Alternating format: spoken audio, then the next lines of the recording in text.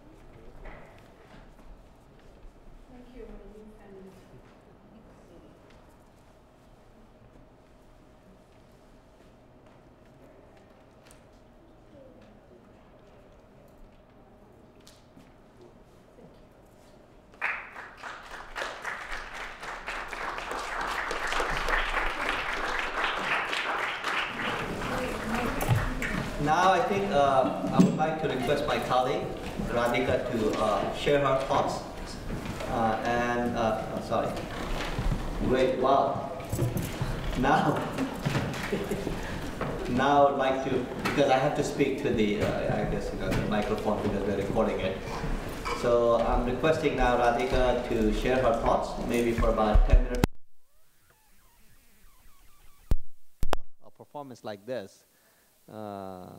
bound to uh, you know have questions and you're bound to have many ways to look at it, uh, and it can go in all kinds of you know interesting uh, and exciting directions.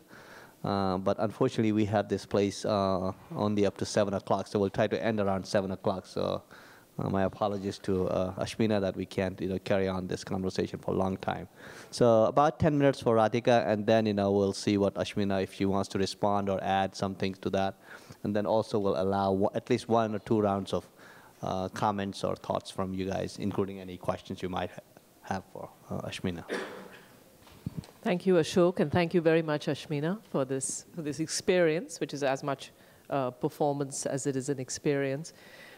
Uh, rather aptly, I have some notes written on the back of a boarding pass, which seemed uh, kind of appropriate to the, to the topics or the, the kind of themes raised by your work, because one of the first things that I thought of as you began in this very disembodied way, um, so that our experience of you was um, from the elevator, was how much of migration or the migrant life or, or movement and mobility at large is spent in the act of waiting. And that most of our experience of movement, um, whether you're moving as a, as a migrant or whether you're moving as a tourist and traveler, is really, and perhaps even more so of late, is just simply spent in the act of waiting for something to happen. So the fact that you started our experience in this act of waiting, even though we had this, this, this sort of sense of you from the, um, from the camera work and the image here, we were really waiting for you to come. And you were curiously as well waiting in a, in a whole series of instances and incidents that happened outside.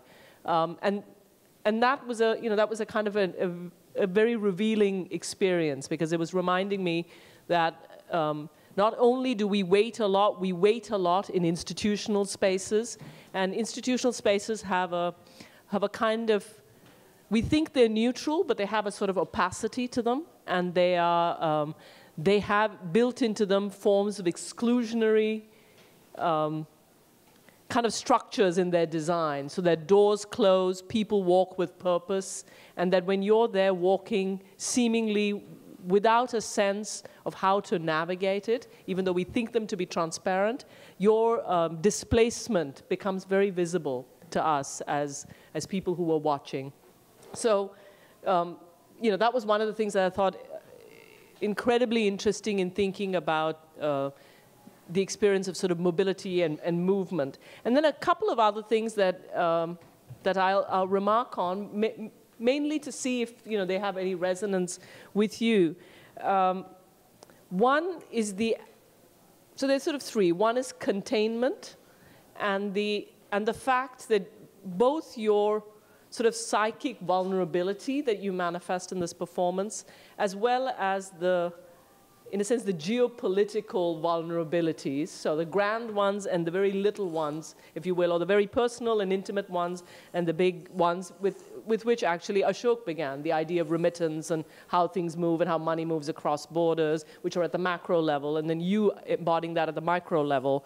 Um, is very much about what gets contained and what is uncontained, and that that um, that kind of flip flop between borders and the anxieties of containment, the um, anxieties of an individual kind of wishing to contain and thereby maintaining some sense of self in this, in this movement. So your, your multiple layerings of shawls and sheets and bed sheets, you know, that they happen more than once and they more and more of them layer, you know, was it was a kind of idea of how does one um, how does one contain oneself in a, in a space?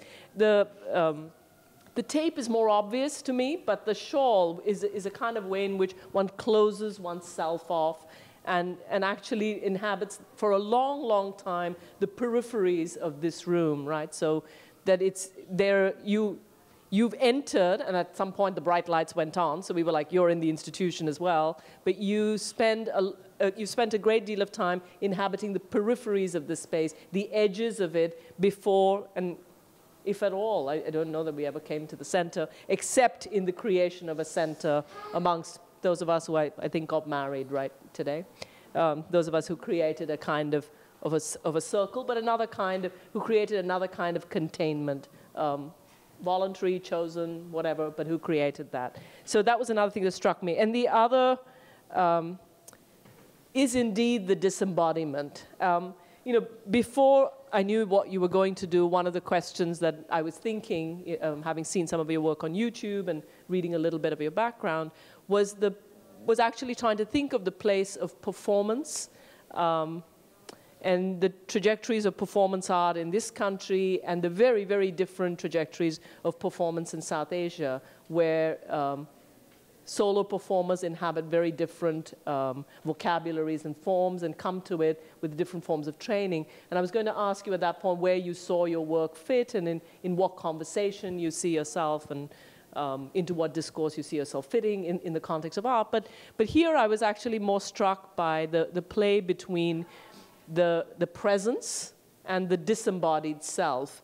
Um, partly as, a, as a, almost a kind of metaphoric space in which most of us encounter mobility and movement in the sense of virtuality, that we, we see people across great distances, across Skypes and Facebooks and other forms of technology, and that that has facilitated a type of belief that you know what's happening there. So we all think we know what's happening there by the elevator, um, and we have a sense of access. At the same time, it is um, we've actually no idea what's happening to that woman with her bag, right? But so that mixture, you think one thinks of performance as very much an embodiment. I mean, that performance is about the presence of a body in space, and that's one of its power. So the, the ability to play with both the presence of the body in space here and the disembodied presence there to which we have access here. At the same time, also, once you come into the space, you know, it was probably a fair game. Which of us chose, and we probably varied. Uh, when we chose to look at that, even though you were here, and when we chose to look at you and not, it, it sets up a kind of confusion where we begin to get used to these mediated. And so, you know, in, in, in sort of very simple minded, kind of one to one terms, I think about um, migrants or immigrants and the fact that one's they may exist on, for example, this island together with us, but they often exist exactly there, right? Through the televisions or the newspapers, through the mediatized ways, and not necessarily through the guy at Mappy who serves me coffee, who indeed inhabits that migrant. Mappy is our local coffee shop, um, which has had very complex uh, relationship to migrant labor and, and people who leave and are unable to come back. But I think about the, the physicality of presence and, and how you, one encounters them and how that's very quickly displaced onto a sense of 40% of New Yorkers were born in all kinds of like statistics and, um, and mediated ways of, you know, of, of dealing with people that then make them kind of disembodied, even though they're present. So I hope that's a way of opening up a conversation with all of you and, of course, with you, Ashmina. Yeah, I mean, I think um, um, that uh, presence and absence is one of the most important thing I think for this performance in a way. Uh, um, I mean, in a way, like I'm doing the research on diaspora at the moment, and I've, I have been a Nepali diaspora basically.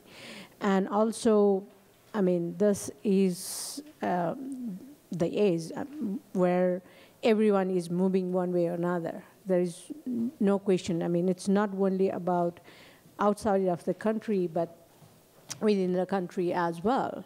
And once you move out from your country or your place or your home, then you go to other place. And no matter how familiar, how, uh, I mean, you became trying to become native, you never became that. So you always became the other. And also, after like long movement, if you go back home, then there also you became the other. So in that sense, it's kind of that space, third space, what Homi Bhabha is called. It's most of that. And I was really looking at how, uh, like, um, the create home or the create that space that is presence and absence it's like psychologically maybe it is presence but physically it is not and physically is it present but psychologically not so really i'm really interested in that liminal space in the sense where is that third space which is um, it's there it's not there. You always it conflicting like in that space.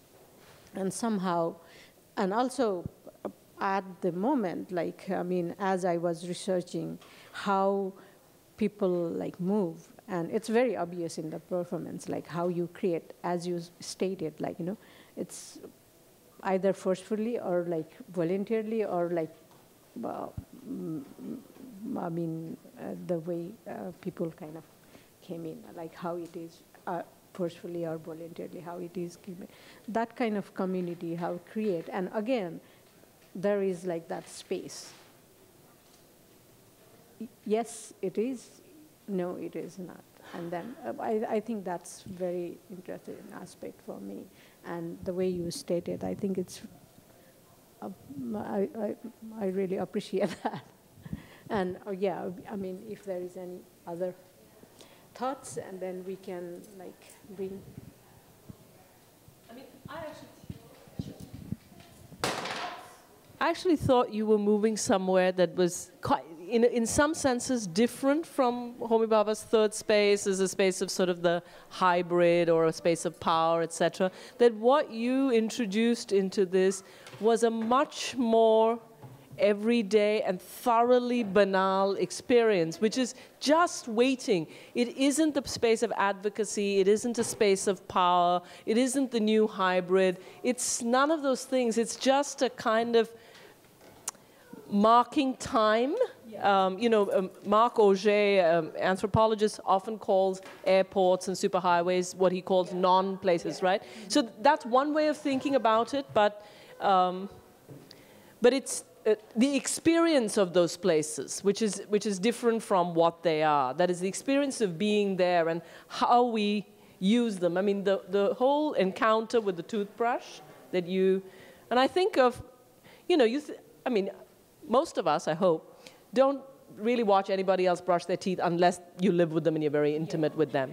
On the other hand, you know, you land at an airport and you go into the airport bathroom and suddenly you're deep in you know, every form of very personal morning ablutions, right? That are, you know, every sound that you're in the middle of. And it's, it's sudden encounter with a strange, intimate bubble into which somebody is waking themselves. So you have, a, you have this kind of access because we are all together in, yes, liminal, but yes, in this kind of suspended space. And that's the piece that struck me as, you know, kind of different and interesting, and, and in that sense, quite different from the Homi Bhabha type of or the ideas of third space that allow one to say, oh, we, are hybrid, we have the possibility of a, of a different um, interaction with the, with the here and now. This is sort of like a nowhere, right? Mm -hmm. And so, and that makes it interesting and, and to me still ambivalent. Yeah, I mean, this is I mean, I think this is definitely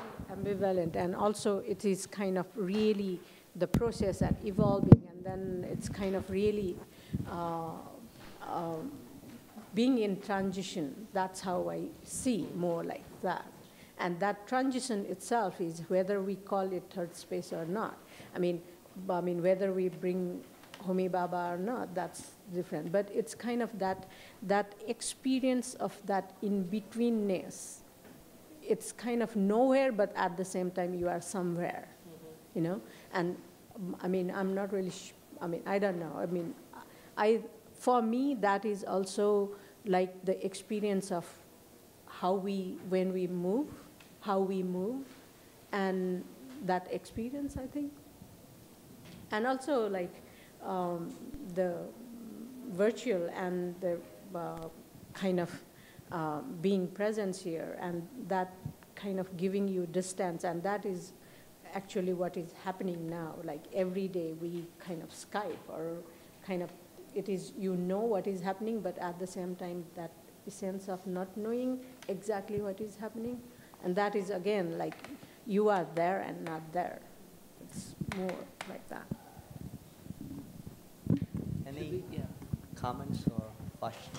Please, yeah, let me, we have to speak. Sorry, this room doesn't. Probably doesn't, yeah. Uh, I was very interested in what you did. Uh, t- Tomorrow morning at 5 o'clock at the Hoboken train station, people like you will be there. We'll be sitting in the waiting room at 5 when the station opens. And then about 7, people, of thousands of people come in from western New Jersey and run through the station, but pass us. We, they don't pay any attention to us in the waiting room. Most of the people in the waiting room are homeless or in some way traveling through. And uh, the people who are have a purpose run to either the boats or they go to the path or they walk uh, to perhaps a job in, in Hoboken. And that sense of otherness where we literally are sitting there in the waiting room and there is no one else there but people who are going nowhere. Nowhere at all. And there's a couple of things that, uh, for me, were uh, unusual. First of all, the deference that the audience paid to you. That that's not usually the way it is. We're, we know each other, but we're very careful. We we don't intrude or move close to you, or you know. There's usually there. I don't know if you've ever been in the train station, and it's been repaired since Sandy, but there are huge benches. Each person gets he's here and I'm here, and there's space in between us, but we don't intrude on his space. Then the other thing is the desire to have your own space, which I saw with the uh, your tape.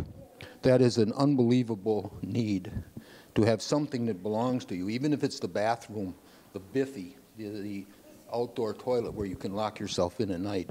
Um, and the other thing, of course, is your possessions and the care and the absolute, um, I don't know what the word is, uh, danger you feel that someone will get your stuff somehow, your bag, or, you know, that someone will take that.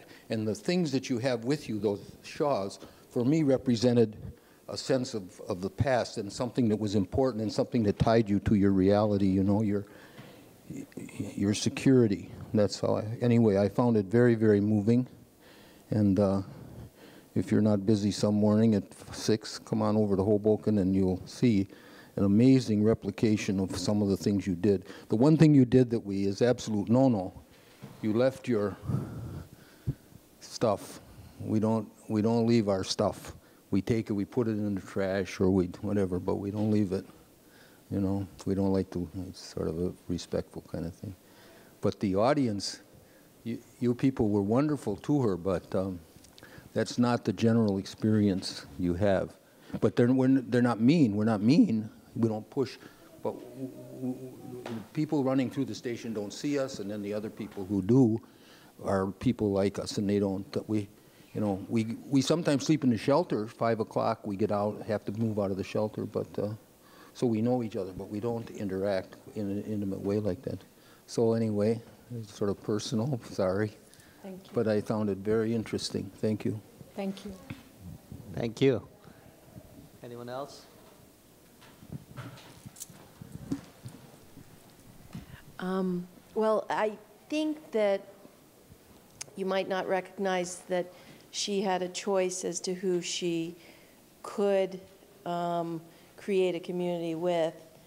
And by, uh, so in fact, she had an active role in sensing who might be sensitive to her plight. And I think that even in Hoboken, in a train station, not everyone will be um, completely impersonal, um, but that each individual can possibly sense there's a nice, or kind, empathetic, um, sensitive person or persons who will help out in some way, whether it just providing um, empathy or allowing um, her to be a part of uh, your space and then um, create an inclusive community. So I, I think that you're possibly not giving humanity a little bit of a shot at, you know, you know, people will actually help out.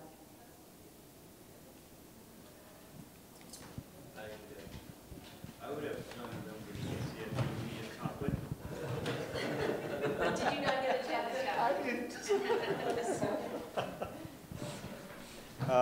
She actually did, you know, she moved you. I was Not she. But did the taping first before, so there was a, there was a precursor. So if you got up, I suppose, and moved out of that tape, Yeah. then you might not get invited into the chocolate. Club of the chocolate. That's. Um, One of the, one of the things I noticed was that uh, when she uh, moved around, if you notice, uh, she went close, she, wherever she went, she went close to persons, whoever they were. Every one of them shrugged off when she moved closer to them. You moved, you moved, you moved, the person moved, you moved, you moved. She was, he was forced to move because she was cutting up. But I think this is, this kind of represents that uh, a lot of the uh, immigrants are shrugged off up, up front, you know, without really knowing who they are, what they, what they are capable of. They are just uh, shrugged off up front. And uh, as time passes, as they understand, they realize, then they slowly become part of the community, part of the uh, larger society. I think that that is my uh, sort of feeling. And I think that's, that's pretty much true no matter where you go in the immigrant community. In the beginning, nobody wants to you know, accept it so easily. And it changes as time passes.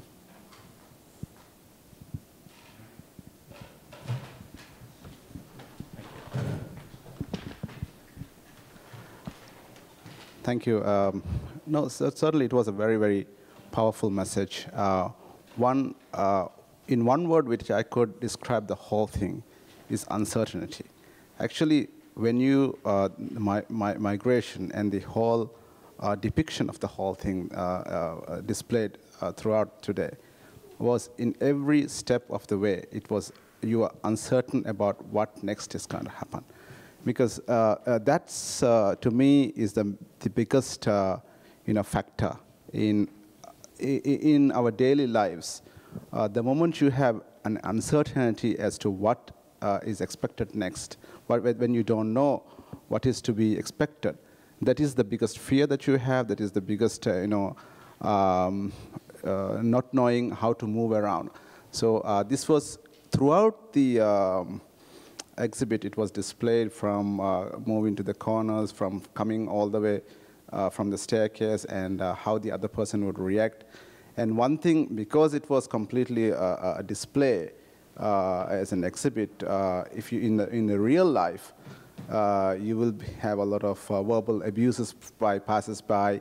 Uh, in some other corners, you may be just uh, you know chucked out of the place those kind of you know uh, incidences will also occur but in, in, because it is uh, a familiar ground for all of us and we know uh, our dear colleague here uh, we were just kind of you know uh, uh, only watching uh, with great interest but in a, in a, in a natural setting certainly in, in, there will be some resistance at, at various points um, your, when you offered your warmth and you, when you offered your friendship in various points, uh, you did not get any of those, uh, you know, um, uh, resistance. But in the real life, certainly you will have that. Uh, sometimes you'll be kicked around. You'll be just, uh, you know, given some sort of a, uh, abusive language or something, uh, you know, to, to, to go out of this place or something like that. But uh, uh, here, so to me, the, the entire thing is well displayed in terms of uncertainty as to what, that's the best ex- expression that I could make on this whole exercise. And this was a great performance. Thank you.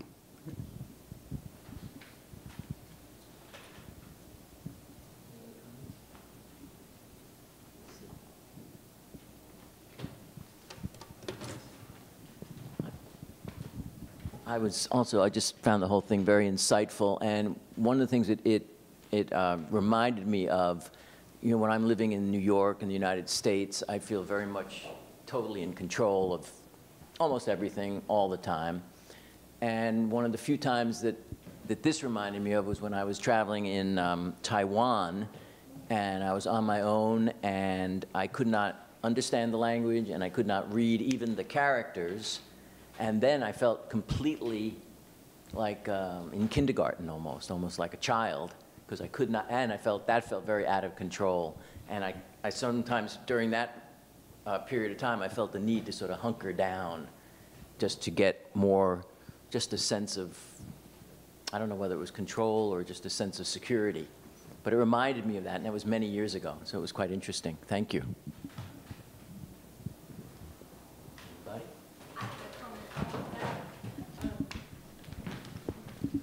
Yeah, just about moving in unfamiliar spaces and the the, the thing that Ashmina you were doing about wrapping yourself in the shawls, and uh, I think that it is about it's about containment, but also and a kind of protection and, and keeping yourself together because I find um, sometimes when we're moving in unfamiliar spaces and very uncertain spaces, we will. Um, kind of be on all the time and have all of our senses heightened. And uh, after a while, this comes to be something overwhelming. And so then we want to do that kind of wrapping ourselves in a shawl. And then um, when you uh, created the community of friends, then you also um, you referenced being married. So that's one way that you can see it. But it, I think it was also like finding the people who you can also um, relax with and have a have a respite, a space of, of abeyance from being um, totally sensorially um, attuned to everything all the time.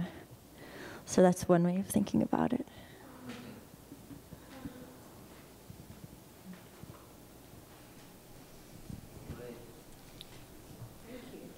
Yeah, and it was really emotional and beautiful, so thank you. Last minute thoughts Jamila, you want to share or Um, I think long ago when I did one performance in New School itself, after the performance, some people asked me what what you were doing, what it does mean, and then I just said, well, it's like at that time I felt like I I answered that time. I I think I said, oh, it's like a poet reads or recites his poem and then people ask and then poet don't know what to say. But it is not that condition. I mean it's i mean it's really how everyone's experience and how everyone really took that. It's really great. And um, i think like as an artist and like I, when I create, when I am in this space, when I'm creating, I'm in unfamiliar space too. And I think that challenge, because if uh, there would be other, I mean, more people or uh, like different environment, the performance, the essence and things would definitely change with uh, different. I mean, several things would be same, but at the same time, how you re- react, and when you are performing, you're being there, and also the audience or like how it react. It's really important, and it it gives more life in its sense. So I, I think uh, it is really um, um, that experience. And every time I try to perform or I try to create any work, I go to that unfamiliar zone, which is almost like migrating from one creating part to another creating part. And this is also a journey for me, for my personal growth, or however we take it. And I guess it's, I mean, we go through, I mean, all of us go through that experience. And I'm really thankful to Ashok, you, you, you, you all. and uh, it's been really wonderful. And it definitely um, gives me to look forward and go forward and create more on the things in life. Can I ask how you construct the work? What are the variables that are set and what is open for? Like how is the how are you how do you craft the performance? Usually, uh, like I work on my head a lot. Uh, and then uh, when, what, I mean, if I'm doing installation and other um, genre, I mean, it's very different. But when I'm performing, uh, sometimes I know, uh, like, I know how I'm going to do what I'm going to do, but the reaction and senses and how you like so many things really depends on the audience as well. It really depends. And there, there would be uh, several thing changes. Changes, that doesn't mean conceptually thing changes, but the reaction and it, it really, and, and that is really important. And that's why the, I mean, I think the performance is so powerful because of that liveliness. So does what change is like temporality and duration, or do is there actually certain kinds of interaction? I mean, like what in, are you, do you have a series of things from which you might draw and leave or how many pieces are in a sense set and their temporal, their duration might change, but they're still there? Is what, what I'm trying to understand like how, yeah. obviously some of this is site specific, right? You, yeah. you elected to yeah. Do, but this could be done in different yeah. places. Yeah, sure. So how much of that is shifting and how much of it is in a sense part of a performance that you know? Um, the sequence that you know? Um, because before I do the performance, I come at least and see the space, so I know the space. And kind of I think through like, okay, this might be the way I was move. I mean, I'll move or I'll do this or so. So I know quite a bit, but like the interaction and also duration really differs.